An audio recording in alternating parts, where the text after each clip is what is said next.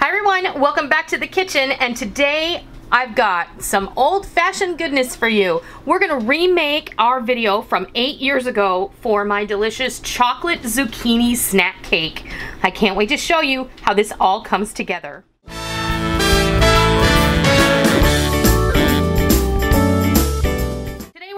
Update a classic. You're gonna start off with two cups of shredded zucchini. I have used the fine shredding side of my grater, but you can choo choose to do whatever you like. Two cups of granulated sugar, two cups of all-purpose flour, two thirds cup of cocoa powder, four eggs, one and a half sticks or 12 tablespoons of butter. We're gonna add in a cup of chopped walnuts, a cup of chocolate chips. We're gonna add a teaspoon of baking soda and a half teaspoon of salt and two tablespoons of vanilla extract. This is so simple. We're gonna mix it by hand. We're not gonna get out any equipment, no appliances, no nothing. This is the kind of old-fashioned cake your grandma made, your mom made, and they didn't take out their mixer either. And there's no need for you to do that as well. This is old school and this is how we like it. So into our bowl, we're gonna add our sugar and our butter. Now you can have softened butter or you can have where mine is somewhat melted. So we're just gonna go ahead and get in here with our handy stir and we're gonna kind of just mix this up until it looks like wet sand. If you prefer, you can use oil here instead of butter. Now we're gonna go ahead and add in our eggs one at a time.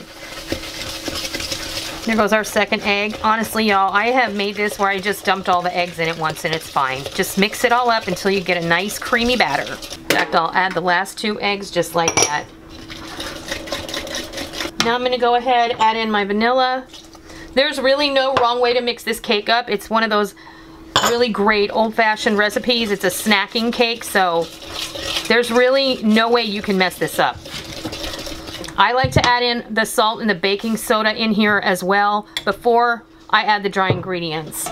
And now we're gonna mix in the zucchini because it is a wet ingredient. And that's the moist part of our batter. Now I'm gonna add the cocoa because technically, and if you didn't know this, cocoa powder is considered a liquid ingredient, just like sugar is, because once it hits all of those other things, it kind of does turn to a liquid. It melts, yes. Just get everything mixed up real well. Go ahead and add your flour. Whisk that in. And you can do all of this with a wooden spoon. You don't have to use a whisk like I am. It's entirely up to you. In fact, I think I'm gonna switch. Just get in there, stir it all up, and now we've got some beautiful cake batter. But let's make sure that all of our batter is incorporated and there's no pockets of dry ingredients.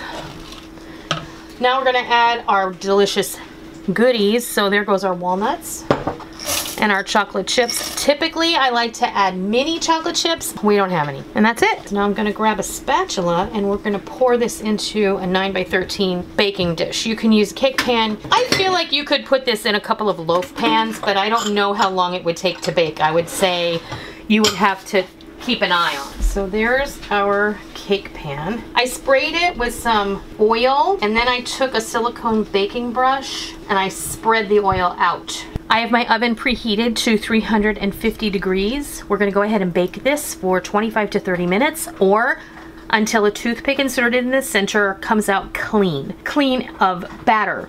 If it comes out with cho melted chocolate chips, don't be alarmed. But if you see batter on there, you want to keep it in there for a few more minutes. Depending on your oven, it may take less or more time. I say 25 to 30 minutes, set your timer for 25, and then check it. And at that point, you can assess if it needs more or uh, more time or it's ready to come out of the oven. So into the oven this goes, and I'll be back when it's time to take it out. Our chocolate zucchini snack cake was in the oven for approximately 40 minutes. Now, like I said, everyone's oven is going to take more or less time. You'll want to check yours starting at 25 minutes. It may need an extra 10 or even 15 minutes like mine did. Maybe yours will be done. So just keep an eye on it. Also, a real telltale sign I always like to tell people is if you can smell it, you should check it. And there will come a point where you can start to smell the delicious aroma of chocolate cake wafting through your home. And that's when you should go to your oven and give it a check, even if your timer hasn't gone off yet. Recommend that you let this cool on a rack completely before you cut into it. And we will be back after dinner and we will cut into this and we'll show you what it looks like. There you have it. Our zucchini snack cake is ready to enjoy. It is still a little bit warm. It would be perfect with a scoop of vanilla ice cream on top, but alas, We don't have any. So we're just gonna enjoy it exactly the way it is. I've cut a nice piece right out of the pan and because we oiled the pan, it came out with absolutely no problem. It's very moist. I mean, look at this, guys. It's so yummy.